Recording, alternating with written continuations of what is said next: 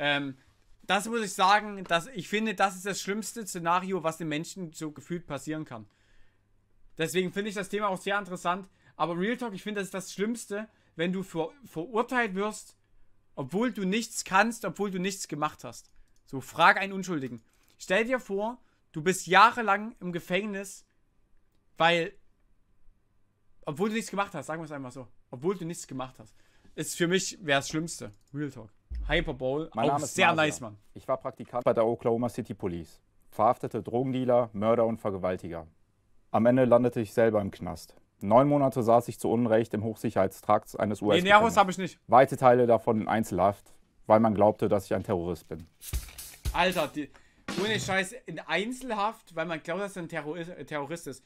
Ich glaube sogar, ich weiß noch nicht mal Einzelhaft, das ist natürlich, das klingt immer so mega hart, aber ich glaube fast Einzelhaft.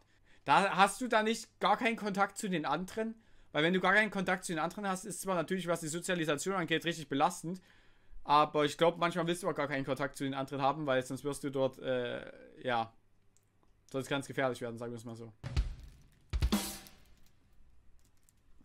Hallo Marissa, grüß Masia. dich. Smarsh fragt sich, wie bist du zur Oklahoma City Police gekommen? Ich war zuerst Zeitsoldat, bin nach meiner Dienstzeit Schießausbilder geworden in Deutschland. Ach, es war Einzelhaft und nicht Einzelzellen, ne? Das war Einzelhaft, ne? Okay. Hatte so gesehen einen kleinen Kurztrip in die USA gehabt, war dort Kopfgeldjäger. Habe dadurch Kontakte zur US-Polizei geschlossen, das war in Oklahoma City und bin dann so gesehen auf Einladung der Oklahoma City Police nach Oklahoma. Lou fragt sich, was hast du bei der US-Polizei gemacht? Ich war Praktikant. In Oklahoma City fahren die Polizisten alleine auf Streife und nicht wie anderorts zu zweit. Musste dann als Beifahrer im Fahrzeug mit Platz nehmen und bei einer Maßnahme bat mich dann der Officer, ihn mit abzusichern. Da saßen vier Verdächtige im Fahrzeug vor uns. Es war ziemlich dunkel. Hat mir dann so gesehen seine Pistole, seine Zweitwaffe in die Hand gedrückt und mich dann gebeten, ja, das Ganze mit abzusichern. Das habe ich auch getan. Das Ganze hatte so sehr an Fahrt zugenommen, dass ich dann so gesehen eigentlich nicht mehr als Praktikant angesehen worden bin, sondern eigentlich mehr ja sagen, fester Bestandteil des Polizeipräsidiums war. Ich habe T-Shirts, Abzeichen vom Polizeichef auch nochmals zusätzlich eine Marke bekommen, die ich auch in Dienst tragen durfte. Habe dann zuletzt an so einem sogenannten Geheimeinsatz teilgenommen. Haben wir Mörder, Drogendealer, Vergewaltiger, alles Mögliche festgenommen, was so gesehen Ja, auf unserer Festnahmeagenda stand. Amelie fragt sich, welcher Fall ist dir besonders in Erinnerung geblieben? Ich bin eines Abends mit einem Polizeichef zu einem Tatort gefahren.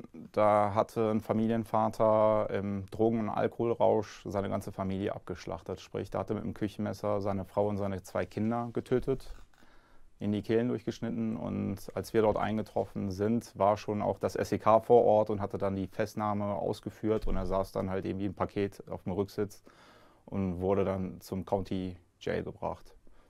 Finn, Junge, wie, wie, wie kann man, wie kann man sowas eigentlich, also selbst, selbst, da, da, selbst wenn du mega viel Drogen nimmst, das kannst du nicht machen. Also, dass dich Drogen so krass aus dem Rennen nehmen können, um seine eigene Familie zu töten, ist halt dieses andere hart, Leute. Wirklich überkrank.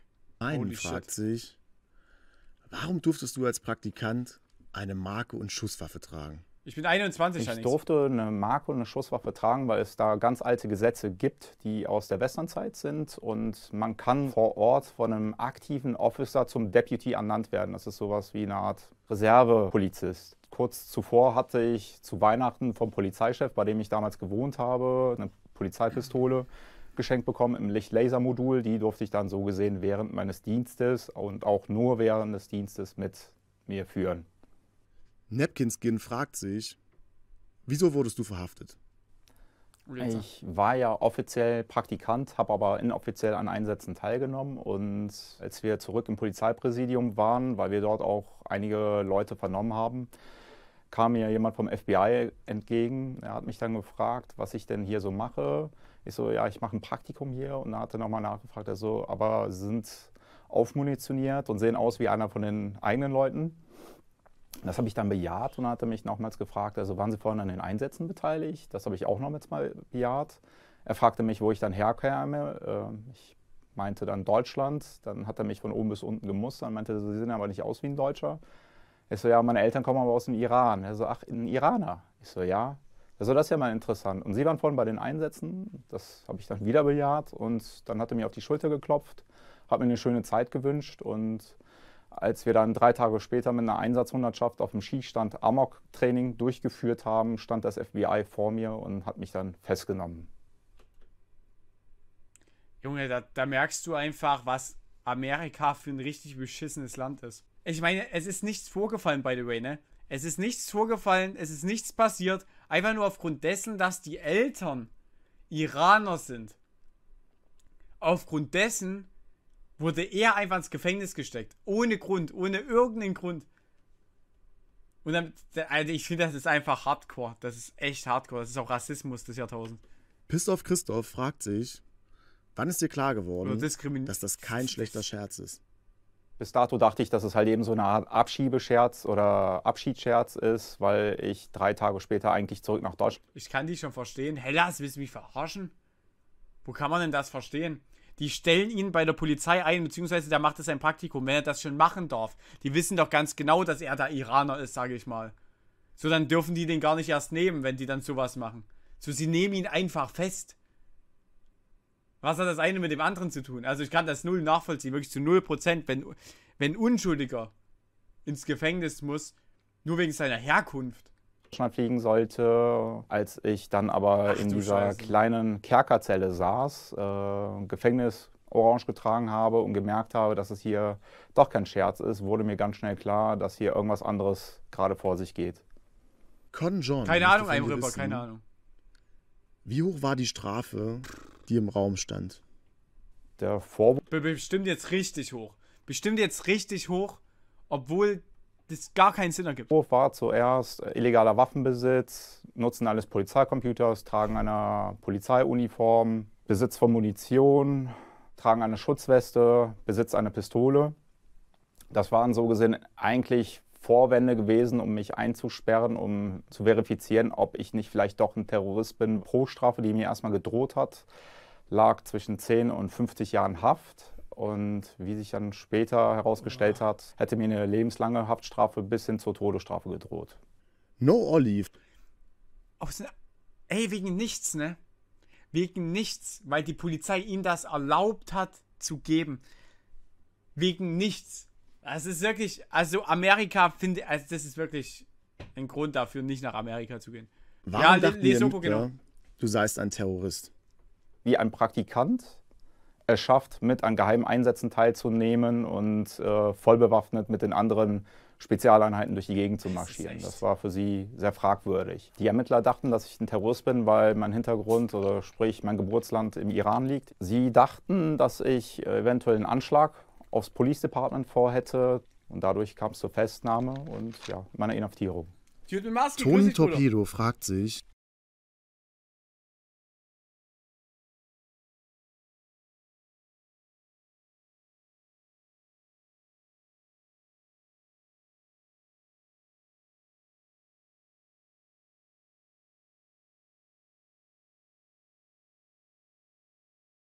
In welchem Gefängnis saßt du?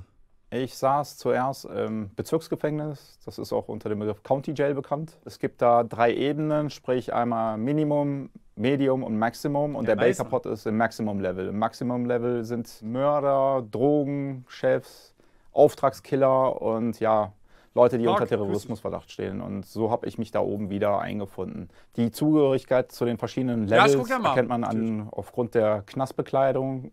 Sprich, wenn man jetzt im Minimum-Level ist, trägt man weiß, also eine weiße Hose und ein weißes Shirt. Wenn man im Medium-Level ist, trägt man orange. Und wenn man im Maximum-Level ist, trägt man schwarze Streifen äh, auf einem weißen Hintergrund. Unisono fragt sich, wie sah deine Zelle aus? Jetzt Meine Zelle war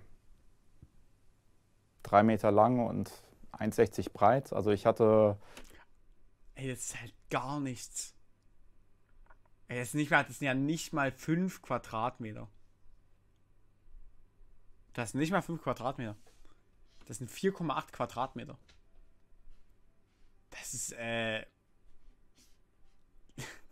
du wirst wegen nichts in eine 4,8 Quadratmeter äh, Zelle eingesperrt. In Ein, warte, Einzelhaft, ne? In Einzelhaft. Eine Betonpritsche gehabt, eine kleine Gummimatte. Als Kopfkissen habe ich eine Klorolle benutzt. Es gab auch kein Fenster, wo man rausgucken konnte. Das Schlimme an allem ist, ähm, man ist 23 am- Stunden am Tag inhaftiert. Isabella, 23, 23, du bist die ganze Zeit da drinne, fast den ganzen Tag. Du wirst doch da geistig sowas von vernebelt, da, da geht gar nichts mehr. fragt sich, wie läuft am Tag im Hochsicherheitsgefängnis ab? Man wird morgens geweckt gegen 4.30 Uhr, da gibt es Frühstück. Meistens haben auch die Officer mein Essenstablett reingekickt oder reingeworfen, sodass mein Frühstück auf dem Boden gelandet ist. Also das roch und stank und schmeckte bestialisch, aber man hatte ja so gesehen keine Auswahl und hat das gegessen, was man da bekommen hat. Man sitzt 23 Stunden in seiner Zelle. Viel Tagesgestaltung hat man da drüben nicht, außer nur rumsitzen und sich den Kopf über alles zermartern. Malu möchte von dir wissen, Ja, vor allem das Ding ist, was machst denn du denn? Das frage ich mich, was machst du die ganze Zeit? Was machst du die ganze Zeit, um dich abzulenken?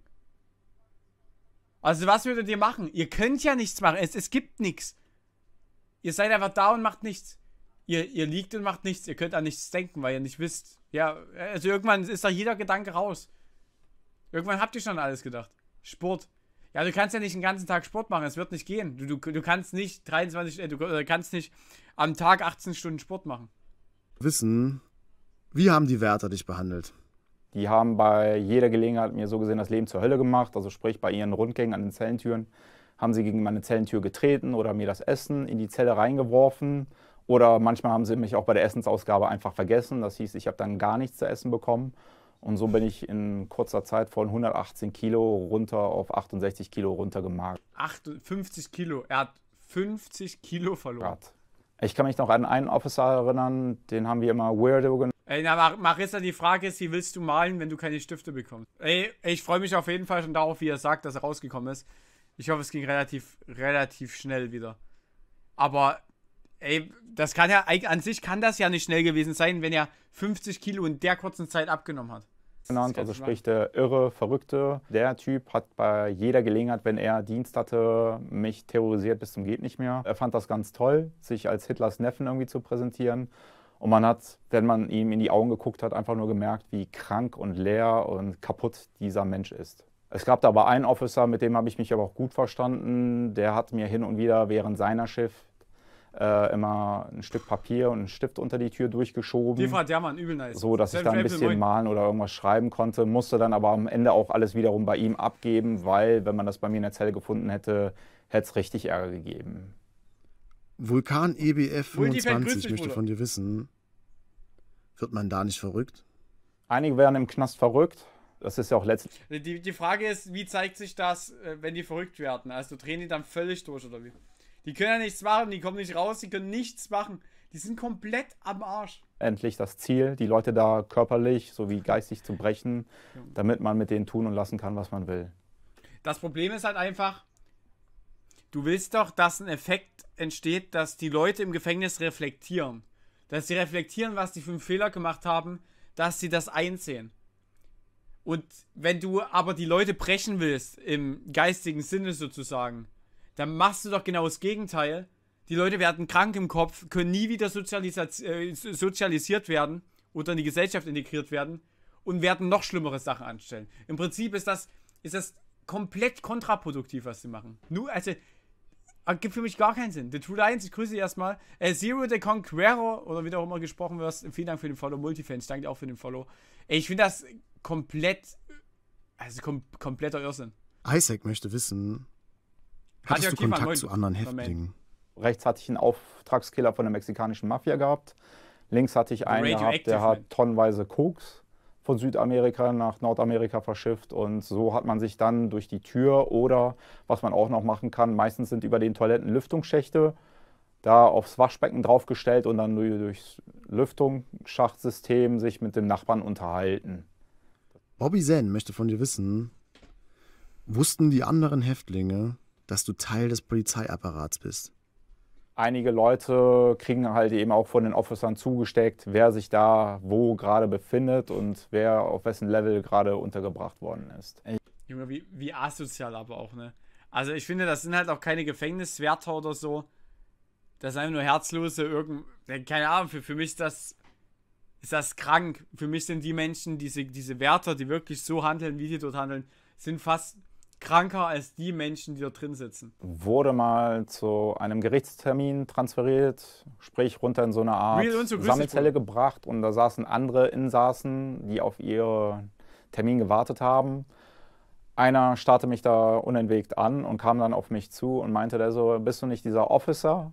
Und kaum konnte ich antworten, sind dann so gesehen alle acht Mann, die mit mir in der Zelle waren, auf mich losgestürmt, haben auf mich eingeschlagen, eingetreten. Ich, überall flogen die Fäuste und Fußtritte her. Ich bin dann so gesehen auf dem Boden, ja, in so eine Art Fötusstellung runtergegangen, weil man kann da nicht mehr viel machen, wenn von allen Richtungen Tritte ankommen. Und auf einmal hat man nur noch einen Alarm gehört, die Tür wurde geöffnet und dann stürmten die Correctional Officer rein und haben dann alles niedergeprügelt, was sie so gesehen in die Finger reinbekommen haben. Aber, aber das Problem ist halt auch einfach, diese Wärter oder wer auch immer dann dort reingeht, die wollen, die legen es ja drauf an. Die wollen, dass die sich prügeln. Die wollen ja selber auch Action haben. Die wollen auch Leute niederknüppeln. Bei denen ist das halt einfach, also so wie ich das immer gesehen habe, aus so in Videos, in solchen Überwachungsvideos, da gibt es ja übel viele äh, auf YouTube.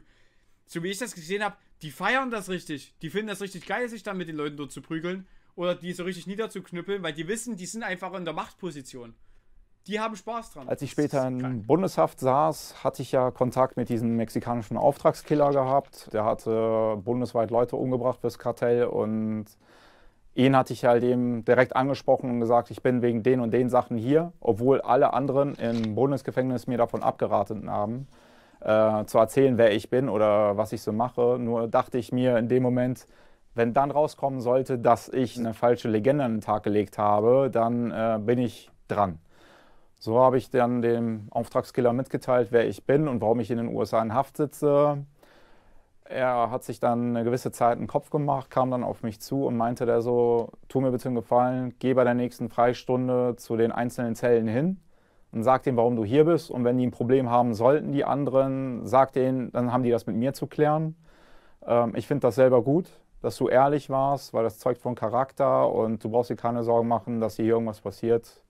Hier bist du unter meinem Schutz. No Love on a Frigate Planet fragt sich, was hast du am meisten vermisst?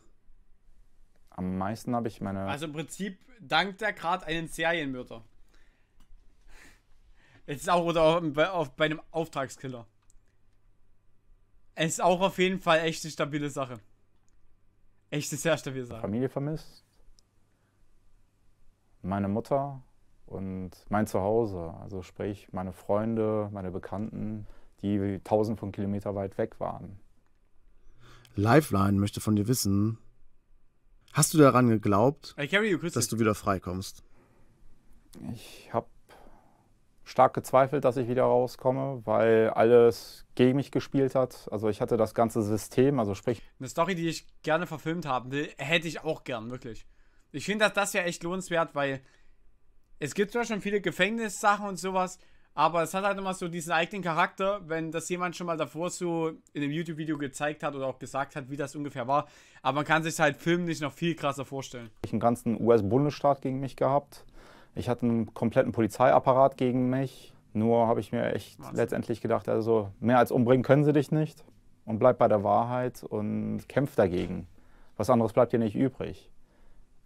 Max fragt sich, hat der deutsche Staat dir geholfen? Das weiß ich leider nicht, weil ich hatte zwar Kontakt zum Konsulat nach Houston, Texas. Ich habe hin und wieder mit denen telefoniert aus dem Officerbüro, wo ich mal anrufen durfte, aber großartig kann ich nicht beurteilen, dass sie irgendwas für mich gemacht haben. Und zurück in Deutschland hatte ich dann die Akte beantragt, die sie da in Houston, Texas über mich angelegt hatten, die komischerweise spurlos verschwunden ist. Lukas van Berg fragt sich, Krank. wie bist du freigekommen? Es hat neun Monate gedauert, bis das Ganze vorbei war. Ich stand vor einem Bundesrichter. Die ganzen Bundesrichter werden vom US-Präsidenten ernannt. Und der hatte mich dann gefragt, was ich hier in den USA zu suchen hätte. Und habe ich ihm Leute, grüne Karte raus, mal bitte alle. Ich will jetzt hier bei jedem die grüne Karte sehen. nochmal die ganze Story erzählt. Und er hat mich dann angeguckt und hat mich dann gebeten, meinen Schritt zur Seite zu machen. Ich dachte, was kommt jetzt für eine Bestrafung? Und dann hat er ins Publikum geschaut, wo die ganzen anderen Agents und Officer saßen, mit denen ich zu tun hatte und hat denen einen Einlauf verpasst, der es in sich hatte. Was das solle, dass die mir ermöglicht haben, mit an den Einsätzen teilzunehmen, die mich von vorne bis hinten mit Waffen und Munition und Polizeiausrüstung ausgestattet haben und mich am Ende dafür inhaftiert und hat dann mit sofortiger Wirkung meine Abschiebung nach Deutschland verfügt. Aber da muss ich sagen, Ehre, dass der Typ dann das direkt in die Wege geleitet hat, dass er dann äh, abgeschoben wird. Abschiebung klingt zwar aber kacke, ne? Aber das ist ja das, das, Beste, was passieren konnte. Und natürlich auch sehr ehrenhaft, dass der den dort zusammengeschissen hat, das ist wild. Dark Day Oder die zusammengeschissen sich, hat. Hast jo, du Hack, alles klar, Bruder, ich wünsche dir was, Mann. Oder Entschädigung bekommen? Ich habe eine Entschuldigung vom Richter bekommen. Der meinte, es tut ihm sehr leid, was mir widerfahren ist. Vor, vor allem, das Ding ist halt eine Entschuldigung vom Richter. Der Richter kann ja gar nichts dafür. Der Richter kann ja gar nichts dafür bei dem, was, was ihm passiert ist. Also der Richter entschuldigt sich. Weil das ist halt auch wieder dieser ganz, das ist der ganz belastende Fakt in der Story. Aber eine Entschädigung gab es dafür jetzt nicht. Mein Anwalt wollte unbedingt, dass ich da so gesehen gegen den Polizeiapparat, also sprich gegen das Police Department vorgehe und die verklage. Das hätte aber für mich gehießen, ich hätte weiter in Haft bleiben müssen, weil mein Visa damals abgelaufen ist und ich dadurch kein Bleiberecht in den USA. Und das hätte vielleicht ein, zwei Jahre gedauert und wer weiß, was Gott alles im Knast dann passiert wäre. Und das war mir kein Cent der Welt ja, oder kein Dollar oder keine Million der Welt irgendwie wert gewesen, dafür draufzugehen in den USA. Simit 030 möchte von dir wissen, wer hat in deinen Augen Fehlern gemacht? Wir alle haben Fehler gemacht. Ich hätte bei den Einsätzen Nein sagen müssen. Ich hätte bei den Geschenken Nein sagen müssen. Aber wer denkt schon dran, wenn die Polizei offiziell zu einem ankommt und ein Du sagst nicht bei einem Geschenk Nein, nehme ich nicht an. Ich meine, wenn ihr jetzt, ich glaube, jeder hatte von uns, oder fast jeder hatte von uns schon mal ein Praktikum. So, wenn du gerade deinen Praktikumsplatz machst, du hast Respekt vor jedem, weil du einfach der bist, der am wenigsten zu sagen hat, der neu in der Gruppe ist sozusagen und wenn die dir ein Geschenk machen, dann sagst du doch bestimmt nicht, nee, das nehme ich nicht an. Natürlich nimmst du es an. Ja. Das ist halt, äh, so, finde ich, er hat gar keine Schuld. Also wirklich zu 0% hat er Schuld. So als Praktikant wirst du geleitet. Für umsonst ist ein Praktikum nicht da. So, da gibt es einen, der leitet dich. Die haben dann eine extra Ausbildung, die Leute, die, äh, die die Praktikanten leiten sozusagen. Und dann müssen sie auch darauf aufpassen, was mit dem passiert und gut ist. Ah, einem solche Geschenke macht oder einem solche Einsätze ermöglicht. Man denkt ja, das hat alles so seine Richtigkeit, hinterfragt es nicht großartig, aber ich sehe meinen Fehler darin, dass ich bei der einen oder anderen Sache Nein, danke hätte sagen müssen. Das hätte mir vielleicht am Ende viel Ärger erspart und auch natürlich auch meine Haftzeit. Claudia möchte wissen, wie geht es dir heute? Mir geht es momentan sehr gut. Ich habe das Ganze in meinem Buch verarbeitet und ah ja, Buch. parallel bin ich als Motivation. Ich hoffe einfach, da kommt noch ein Film raus. Das wäre echt nice. Trainer unterwegs und versuche die Leute, die Zweifel in ihrem Leben haben, ja, zu coachen, ein bisschen zu motivieren, dass man ja. so gesehen alles schaffen kann, wenn man den Willen dazu hat.